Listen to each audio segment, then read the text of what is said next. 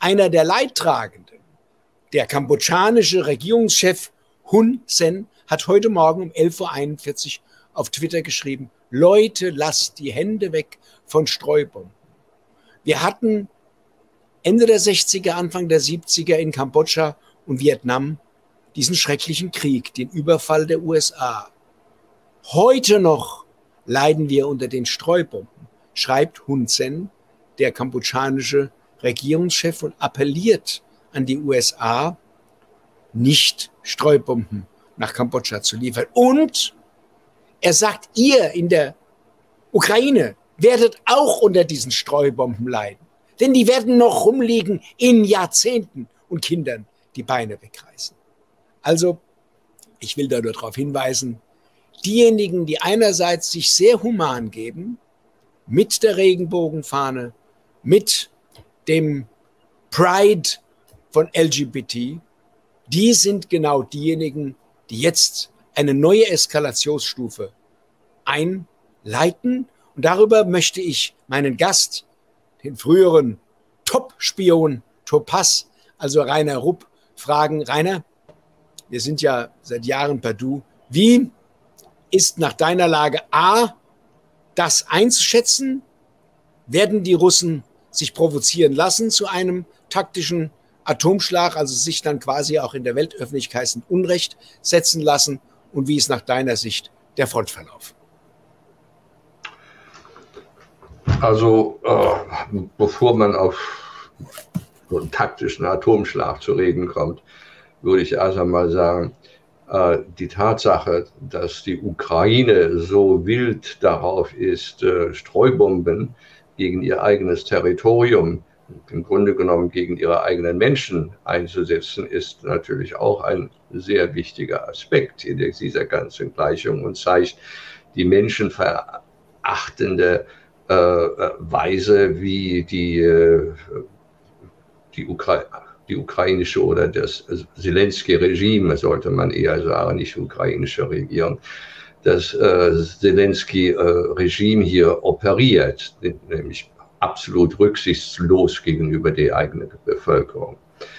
Ähm, dann natürlich ähm, werden jetzt die Streubomben wieder als neue Wunderwaffe, westliche Wunderwaffe gehandelt, mit der die Ukraine nun doch noch, äh, naja, von Gewinnen ist eigentlich nicht mehr so die Rede in den westlichen Medien. Jetzt geht es nur noch darum, äh, standzuhalten.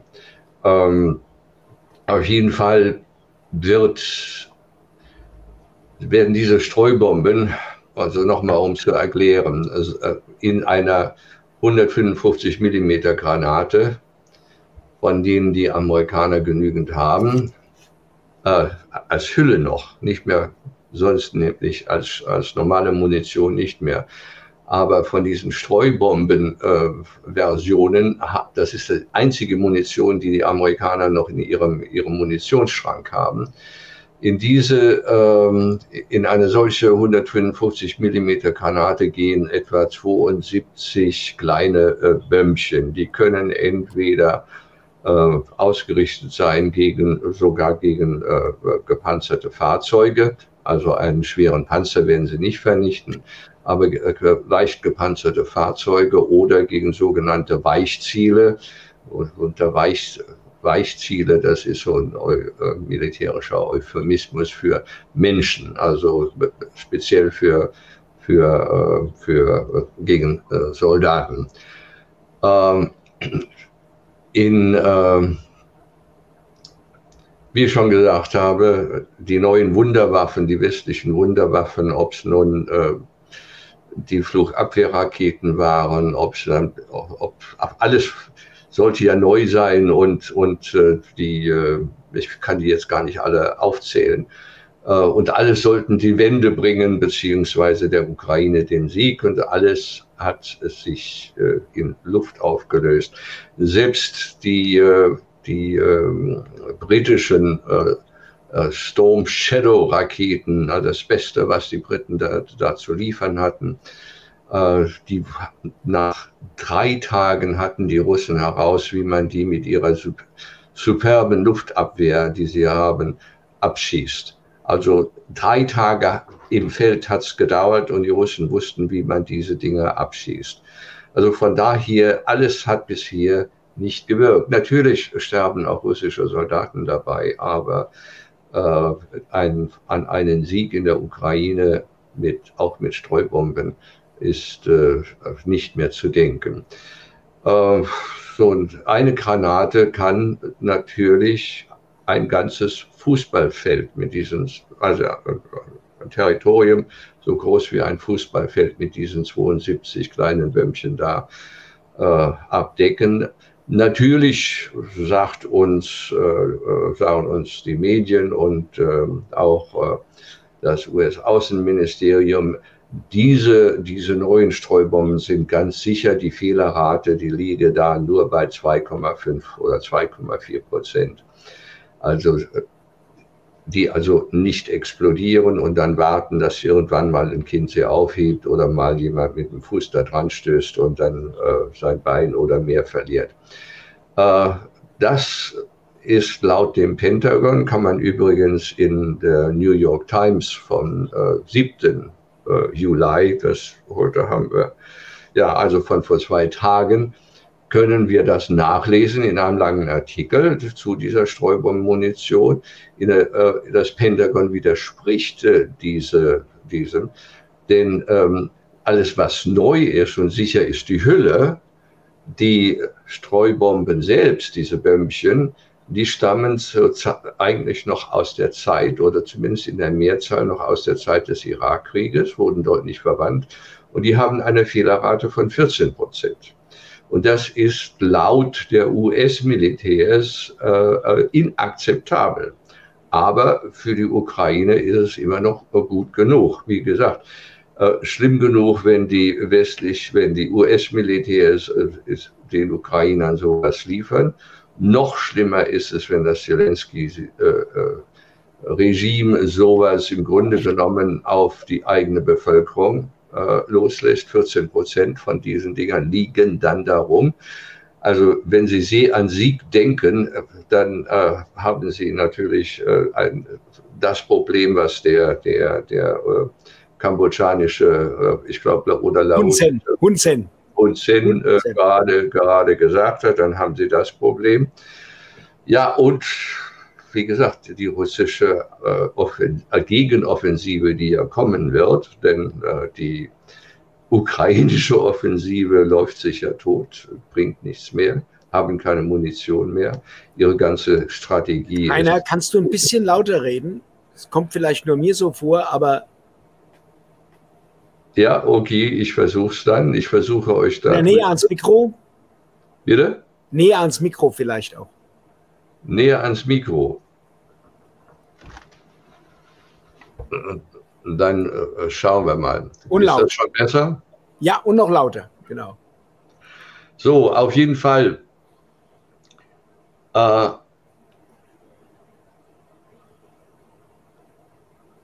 Wo war ich? Ach ja, also bei dieser Streumunition, die wird, die wird äh, den Lauf der Dinge nicht verändern. Es werden, wird nur den Krieg noch länger hinauszögern und noch mehr Leben von äh, Russen, allerdings noch weitaus mehr Leben von Ukrainern äh, äh, fordern. Denn nach wie vor ist das Verhältnis dort liegt bei eins, ein toter äh, russischer Soldat kommt auf sieben oder je nachdem, wo, welche Region, auf zehn tote ukrainische Soldaten.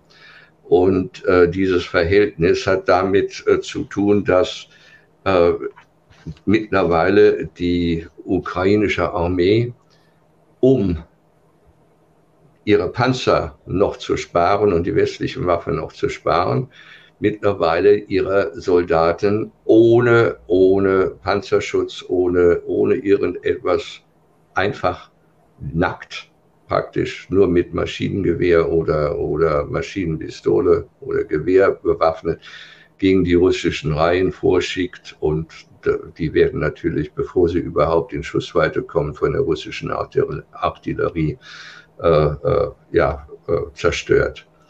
So dass also hier ein, ein tagtäglich ein schreckliches Gemetzel stattfindet. Im Durchschnitt etwa 1000, 1000 Tote auf der ukrainischen Seite. Äh, ja, Streumunition hin oder her, das wird halt eben sich, daran wird sich nichts ändern. So, apropos Nuklearwaffen.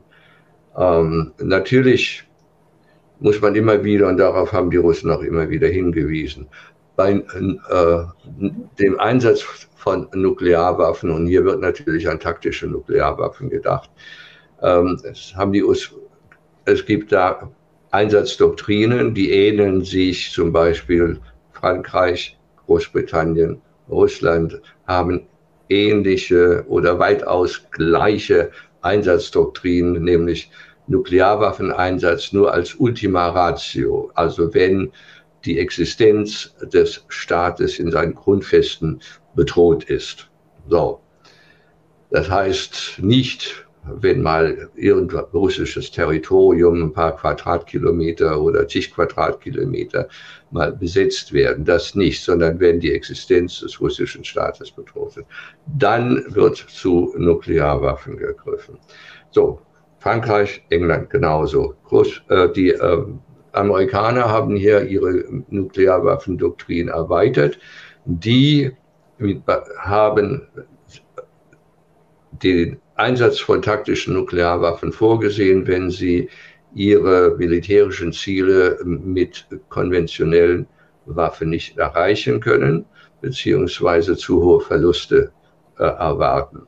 Das, mit anderen Worten, die gleiche Argumentation wie, wie, wie schon damals, schon 45, äh, die zum Einsatz äh, der von Nuklearwaffen auf äh, Nagasa auf Hiroshima Nagasaki geführt hat. Denn damals wurde ja auch gesagt, wir, um, die, um Japan zu erobern, also mit konventionellen Waffen, das würde zu viele amerikanische Soldatenleben erfordern, also fordern und deshalb müsste man den äh, Japanern zeigen, was man, dass man die ultimative Waffe hat und äh, die sich dann ergeben würden. Also ähnliche Argumentation bei äh, amerikanischen äh, Abenteuern im, rund um die Welt, wenn sich jemand zu stark wehrt, ja, und äh, den Amerikanern zu viele Verluste zufügt, muss er laut amerikanischer Nuklearwaffendoktrin damit rechnen, eventuell mit taktischen, also Mini-Nukes angegriffen zu werden.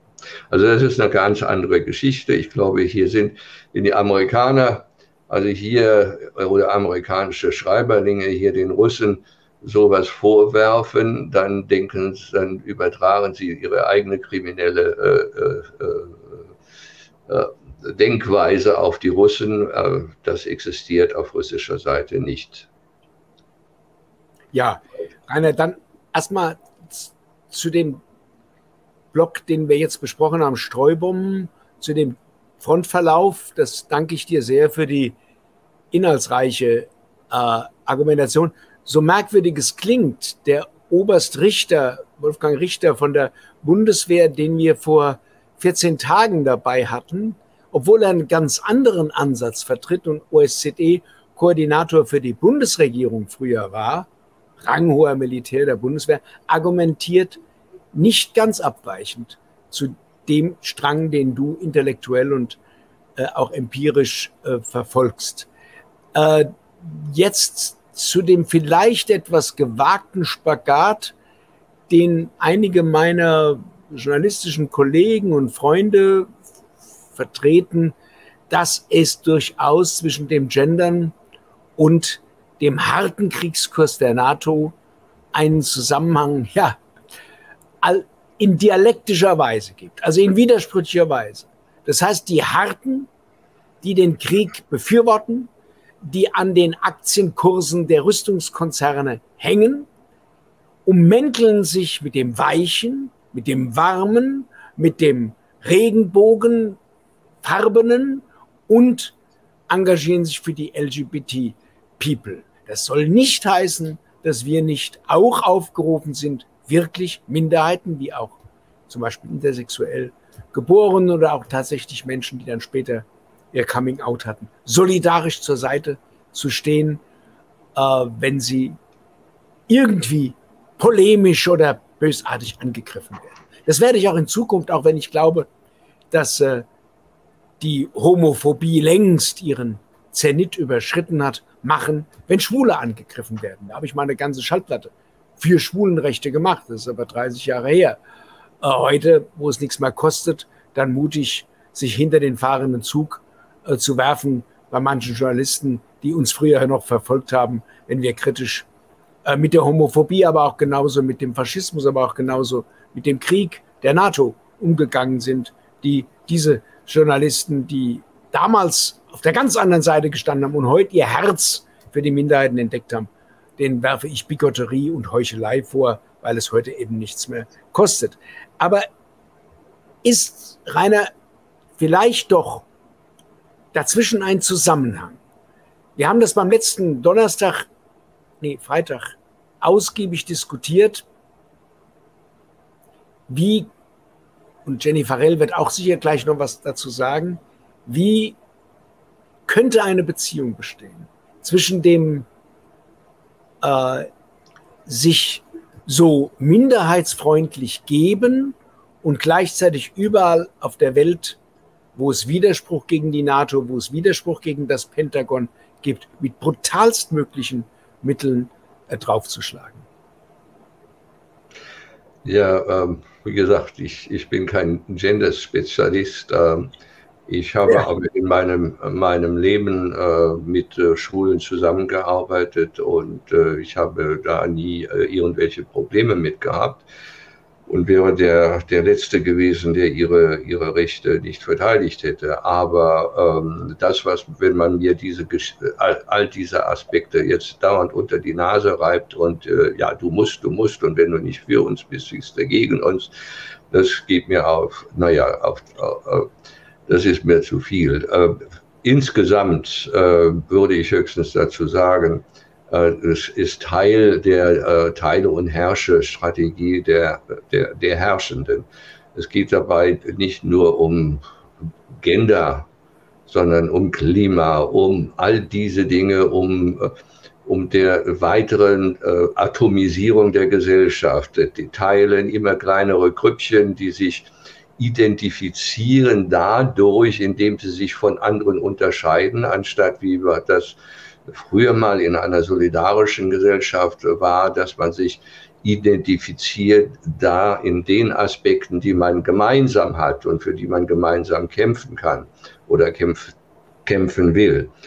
Aber äh, das, äh, ich sehe das halt eben nur als Teil, also als, als absolut scheinheiliger Teil dass man sich dann hier präsentiert, dass man Minderheiten äh, äh, unterstützt, Klima unterstützt, dies oder jenes und so weiter. Aber das, e, im Endeffekt wird die Gesellschaft nur weiter atomisiert und du hattest vorhin von Krieg zwischen den kleinen Leuten gesprochen. Also im Grunde genommen ist das genau da. Ich drücke das nur etwas anders aus, aber ist im Grunde genommen dasselbe, was du da gesagt hast. Inwiefern das nun Teil des, äh, des, des Krieges insgesamt ist, weiß, kann ich nicht beurteilen.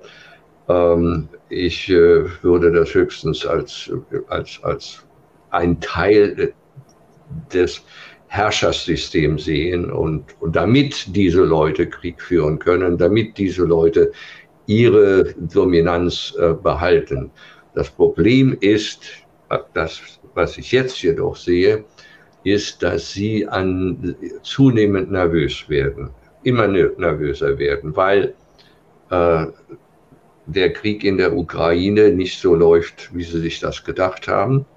Der Wirtschaftskrieg gegen Russland ist total umgekehrt gelaufen. Russland hat keine ökonomischen Probleme, der Westen hat ökonomische Probleme. Russland hat weniger Inflation, weitaus weniger Inflation mittlerweile als, der, als im Westen, selbst in Deutschland war weniger. Die russische Wirtschaft boomt. In Europa und in den USA gibt es große Probleme. Rundum wissen wir alle, brauchen wir gar nicht groß in die Details zu gehen. Ähm, militärisch funktioniert es nicht und politisch ist Russland ja auch nicht alles andere als isoliert. Äh, Gegenteil. hier hat hier durch diese äh, russische Initiative, die hat etwas losgetreten weltweit, in der sich immer mehr Länder nun, nun, nun Anträge stellen, bei, entweder bei BRICS oder, oder Shanghai Kooperationsorganisation Mitglied zu werden und sich hier ein, ein, ein Gegengewicht, nicht nur ein Gegengewicht, denn die, die, wenn man alleine die Bevölkerung zählt und, und aber auch das Bruttoinlandsprodukt dieser Gruppierungen, dann werden die, wird der, der, Kollektiv, der kollektive Westen sehr, sehr äh, mager auf einmal aus. Und wenn es dann auch noch militärisch wird, dann ist äh, die Situation, die, wie ich schon sagte, die, die Munitionsschränke nicht nur in Europa sind leer, Sie sind auch in, in den USA leer. Die USA ist betteln gegangen rund um die Welt. In Afrika wollte, haben sie versucht, bei ehemaligen Ländern, äh, bei Ländern, die früher von der Sowjetunion unterstützt wurden, um noch äh, 155er Granatmunition zu, zu, zu kaufen und, und zu betteln, um in die Ukraine zu liefern. Es bringt nichts. Die neuen Waffen, äh, die sie geliefert haben, bringt auch nichts. Und jetzt ist ein, eine Geschichte, die, die äh, ein, ein führender, führender, ein Top-Manager, Top, äh, Top äh, Manager der Rüstungs US-Rüstungsindustrie, 50 Jahre Erfahrung unter anderem in verschiedenen hohen Regierungspositionen, unter anderem auch als stellvertretender Minister im Pentagon, der hat also 50 Jahre Erfahrung äh, in all diesen Positionen. Der hat jetzt einen Artikel in Asia Times geschrieben und sagt. Wie heißt der? Wie, wie heißt der? Wie, wie, Dr. Brian. Ah. B-R-Y-E-N im mhm. Artikel in Asia Times. Ich habe einen Artikel dazu, ist heute auf Russia Today von mir veröffentlicht worden. Äh, kann man da nachlesen. Ähm, jetzt äh, der, der, der hat, hat geschrieben, dass im Grunde genommen jetzt für den Westen nur noch eins bleibt. Entweder müssen, muss der Westen und die NATO komplett für die Zukunft komplett ihre, ihre Strategie ändern das, was sehr, sehr, sehr, sehr viel Geld kostet. Und er hat auch erklärt, warum. Oder, und hier, hier ich, ich, ich äh, äh, lese, lese mal vor, ähm, oder die, ich lese vor, die Quintessenz, schreibt er dann Ende, am Ende, die Quintessenz ist, dass die Strategie der NATO überarbeitet werden muss oder dass alternativ die Europäer und Russen eine für beide Seiten akzeptable Sicherheitsvereinbarung ausarbeiten müssen. Es ist genau eine solche Vereinbarung, schreibt er weiter, die Russland der NATO im Dezember 2021 vorgeschlagen hat. Sie wurde aber ohne Diskussion vom Westen abgelehnt. Hätte man alles haben können, ohne all die Hunderttausende von Toten in der Ukraine. Also das ist einer der Top-Leute, die einsehen, das geht nicht so weiter. Zur selben Zeit ist jetzt, vorgestern ist rausgekommen, dass äh, eine Gruppe von aus dem Mainstream, aus, aber aus dem konservativen Mainstream, die nicht den Boden unter den zur Realität verloren haben, die sehen, wie schlimm es um die militärischen Kapazitäten der NATO aussieht in der, in, in der Ukraine ähm, die hatten Lavrov eingeladen, als er vor im April äh, in New York war und ähm, zur UNO war. Das war eine Geheimkonferenz, wusste niemand was davon. Jetzt wurde das durchgestochen an die Medien und NBC hat es vor zwei Tagen darüber berichtet. Und es, es der, der Einladende war der Chef des Atlantic Council. Das ist diese Gruppe, die seit Jahrzehnten die, Einfluss, die einflussreichsten Influencer der amerikanischen Außenpolitik sind. Die vom Pentagon oder vom Weißen Haus dann mal wieder gepackt werden in eine, eine, eine äh, in einen Think Tank und dann wieder im Weißen Haus oder sonst in aber einflussreichen Positionen sind. Und auch die sehen, es geht nicht weiter so. Und sie versuchen hier Wege zu finden, mit Russland wieder ins Gespräch zu kommen. Ja, was natürlich Deutschland alles ablehnt. Ich sehe, also wir haben nicht die Zeit, das hier alles auszudiskutieren, aber ich sehe eine, eine Entwicklung hier, ähm, dass es für die, die Amerikaner und also diese Tendenz immer stärker wird. Man sieht in derselben Zeit, dass Biden immer stärker angegriffen wird, auch aus, den eigenen, aus der eigenen Partei, sodass äh, hier auf einmal wir wieder in einer Situation stehen, wie in Afghanistan, dass die Amerikaner, so wie in Afghanistan, auch die Ukraine wie eine heiße Kartoffel fallen lassen. Und dann stehen hier die Europäer da und halten dieses hässliche hässliche Nazi-Kind, Babykind in den Armen und wissen nicht, wie es weitergeht. Also äh, diese Entwicklung sehe ich. Soweit Rainer Rupp, herzlichen Dank. Äh, früher Top-Spion. Wie lange hast du in, im Knast gesessen, Rainer? Sieben Jahre. Sieben Jahre. Zu zwölf ah. Jahren verurteilt. Zu zwölf Jahren verurteilt, dann vorzeitig. Wegen guter Führung wahrscheinlich, wie ich dich kenne. Nein, wegen guter Führung hätte ich nach einem halben Jahr schon äh, genau. nach, mit Halbstrafe. Als, äh, genau. Als mit Halbstrafe Aber da ich meine Tat nie bedauert habe, äh, konnte man keine Halbstrafe nehmen. Ja.